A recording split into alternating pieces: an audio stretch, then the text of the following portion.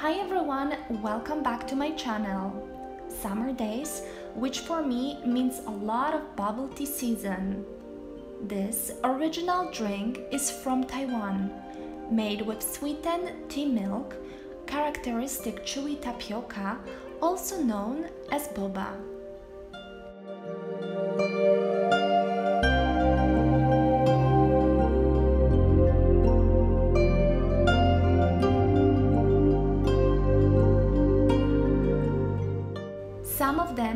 Purchase out there, can get pricey and contain too much sugar.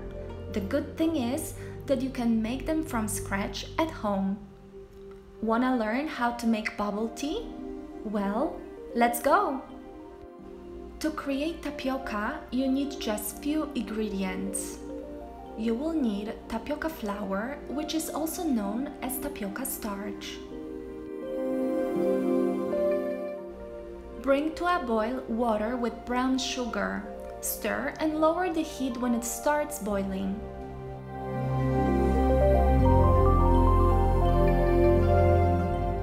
We'll start by adding small amount of tapioca flour. Cook for less than a minute.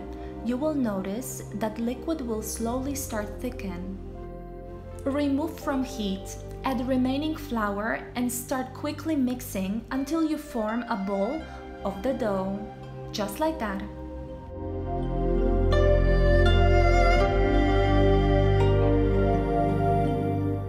Transfer to a flat surface and start kneading until dough becomes smooth and flexible. If it's sticky to a surface, you can always sprinkle more with tapioca flour. This looks perfect. Divide the dough into four pieces. Make sure to cover to prevent from drying. Prepare in the separate bowl 3 tablespoons tapioca flour. This way you prevent them from sticking together. Next, you will roll with your palm, forming thin sticks. Cut them into small pieces. Try to make them as even in size as possible. And they should be small enough to pass through your straw. Roll each piece in between your palms to create round shape. Time to time, I like to use very small drop of water on my hands. This way is easier to form the ball. You will drop the pearls straight to flour.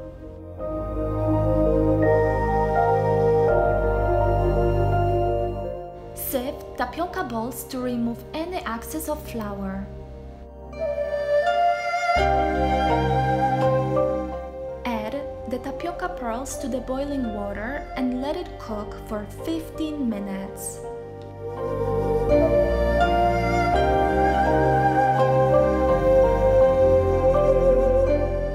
Transfer to a cold water, they might slightly shrink.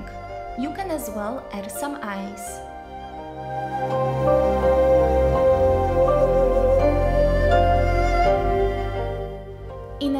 Saucepan, bring to a boil water with sugar. Transfer to a sugar syrup tapioca and cook on low heat.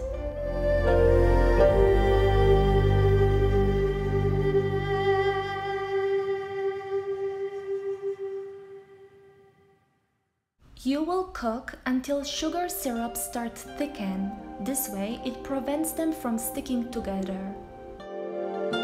To create Thai tea, I'm using Solong tea with chai. You can add any flavor you like, jasmine, green tea or even fruity flavors. For some spices, I'm adding star anise and just brew the tea for half an hour or until it's completely cold. Transfer your ready tapioca pearls and cover. Let it cool. Some people, when they create tapioca pearls, they add a food coloring or dark cocoa to create basically this dark shade of pearls. Let me show you a few of my favorite flavors of bubble tea. We'll start with Thai tea first. Place your tapioca pearls with ice. Add cool down tea. For these beautiful colors, we'll add evaporated milk and for sweetness, condensed milk. Next, I'm using a little bit of condensed milk for sweetness. You can substitute with honey and you can add your favorite milk like almond, coconut, vanilla or even skim milk.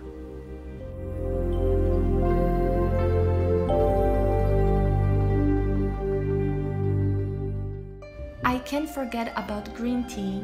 Add your favorite milk and green tea, which is diluted powder with water. Last one, raspberry mousse. Just blend raspberries with water and sift to have smooth consistency. Add coconut milk and for some sweetness, condensed milk or honey. And there you have four different flavors, very different and so delicious. Like I mentioned, bubble tea comes in many flavors of tea fruity and very popular taro, which is a root of vegetable used in Asian dishes.